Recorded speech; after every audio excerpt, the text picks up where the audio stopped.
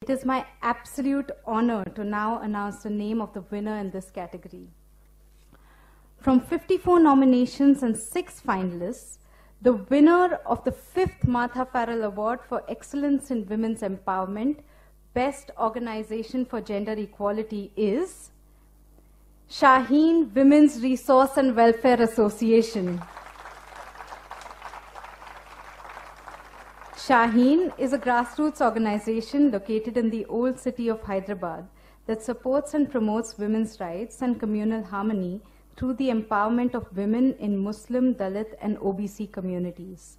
Shaheen has five key strategic areas of intervention for the, for the growth and empowerment of women economic, health, gender and child rights, advocacy, and culture and harmony. Let's have a closer look at their work.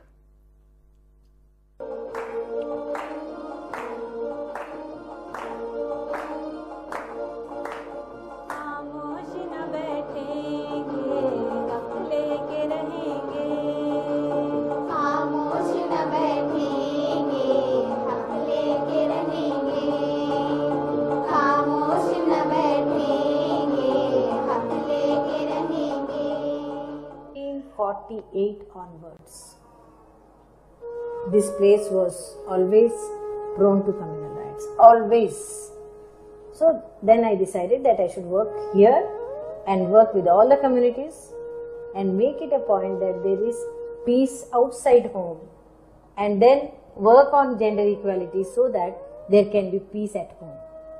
So working about peace at home and outside home. That was my interest.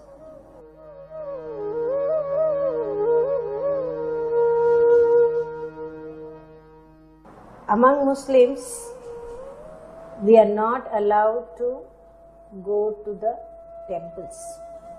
We are not allowed to sing or dance. Women are not even able, allowed to laugh loudly. Such restrictions. So what we did was we made these girls feel that we are equal. मेरा नाम सुल्ताना है और मैं शाहीन में पिछले पंद्रह साल से काम कर रही हूँ। शाहीन में आने से पहले मैं खुद एक वायलेंस फेस कर रही हूँ, जिसमें डोमेस्टिक वायलेंस हुआ था। शाहीन एक ऐसा इदारा है जहाँ पर लड़कियों और औरतों को स्पेस है। वहाँ लड़कियाँ सुरक्षित ही नहीं रहती है, बल्कि अपने ज़िंदगी के कुछ ख्वाबों को पूरा करने वाली भी बन सकती है, जैसे तालीम है स्किल ट्रेनिंग है, या आगे की पढ़ाई हो मेन स्ट्रीम हो डिस्टेंस एजुकेशन हो, वो लड़कियाँ लेने लगी और हमारे महल्ले में बहुत सारे शाहीन के बारे में मानना शुरू करे और मैं आज फ़ख्र से कह सकती हूँ कि शाहीन एक ऐसा इदारा है, जिसमें न सिर्फ़ एक लड़की, बल्कि एक हुई औरत को समाज में जीने का अधिकार दिया और अपने खुद के फैसले लेकर ज़िंदगी को आगे बढ़ाने का मौका दिया, जिसमें मैं अपने कम्युनिटी के औरतों के साथ ही अपने उसी कम्युनिटी में रहकर काम करने के लायक बनी। पहले मैं यहाँ पर आकर मेहंदी डिज़ाइनिंग कंप्यूटर सब सीखती थी अब यहाँ पर एज ए फैसिलिटेटर मैं जॉब कर रही हूँ यहाँ पर आने के बाद मुझे बहुत सारी अवेयरनेस मिली रही एजुकेशन की इम्पोर्टेंस क्या होती है और एक लड़की को कितना ज़्यादा फाइनेंशियली इंडिपेंडेंट और करियर ओरिएंटेड रहना कितना ज़रूरी है ये सब समझ मुझे यहाँ पर आने के बाद हुई We have our internal complaints committee under the POSH Act in place. Uh, we make sure that our employees are well aware about it and are able to bring up the relevant issues when required with the ICC. हमारी ये कोशिश है कि एक ऐसी society create कर सके जहाँ पर जेंडर कास्ट क्लास का कोई फ़र्क ना हो। सब लोग इक्वल हो, सबको इक्वल अपॉर्चुनिटीज़ मिले, सबको इक्वल रिसोर्सेस मिले। किसी को भी फ़र्क ना रहे। और जो भी हरासमेंट लड़कियाँ फेस कर रहे चाहे वो डोमेस्टिक वायलेंस हो, चाहे सेक्सुअल हरासमेंट हो, चाहे जेंडर बेस्ड वायलेंस हो छोटा छोटे से छोटा वायलेंस हो या बड़े से बड़ा वो सारा वायलेंस खत्म हो और लड़का लड़की इक्वली और इक्वल रिस्पेक्ट के साथ में रह सके। These are our pillars they work they work for this whatever Shaheen is today is because of these girls who are from the ground who are the survivors themselves empowering not themselves just themselves but other मैं हूँ नूर नूरे जहाँ इसमत की जान मैं काली माता हूँ निर्मल हृदय की अन्नदाता हो। मैंने तुम सबको जन्म दिया है।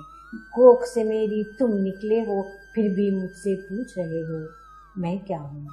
मैं नुक्ता हूँ, कायनात का मरकज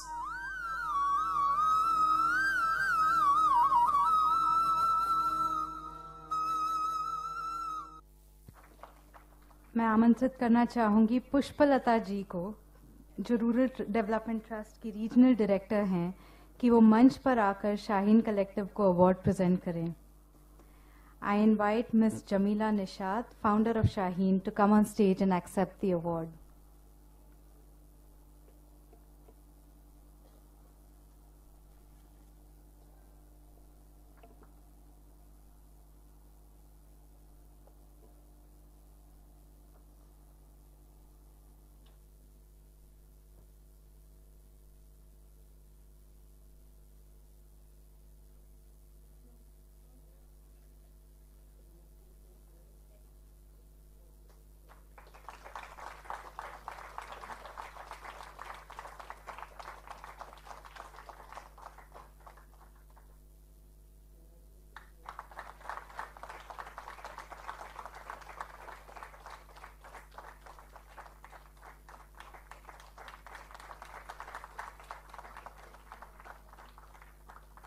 Congratulations, Shaheen.